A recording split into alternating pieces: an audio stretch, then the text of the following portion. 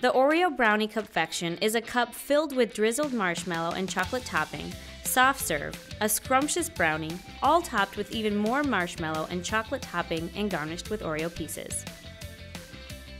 Remember to wash your hands before starting any product preparation. Want to see how to make this showstopper? Let's make the Oreo Brownie Cupfection.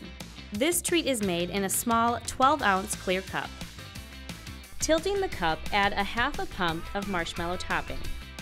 Move the cup up and down to drizzle marshmallow topping up and down the insides of the cup. You may want to practice this motion first to get the hang of it. Add one half pump of chocolate in the same way. Moving the cup up and down to drizzle the chocolate topping on top of the marshmallow, up and down the insides of the cup. Add soft serve, forming a base up to approximately the blue line. Slide the soft serve nozzle to the side of the cup to form the base, ball, and curl. The base should be approximately 2 inches wide. Allow the ball to form just above the DQ logo. The curl should be just above the top of the cup. The approximate weight should be 7 and 3 quarters ounces. Remove a thawed triple chocolate brownie from the refrigerator and cut in half.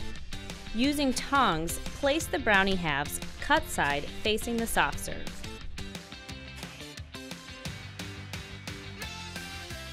Garnish with a quarter pump of marshmallow topping and a quarter pump of chocolate over the brownie and soft serve. Sprinkle one half of a clear scoop of Oreo pieces on top of the soft serve. Serve with a long red spoon. For to-go orders, cover with a dome lid. This yummy new treat uses some new techniques, and we want to make sure we get it right for our fans. So make sure you practice, weighing your treat along the way to make sure you're portioning correctly. You'll be a master Oreo brownie Cupfection maker soon. Good luck!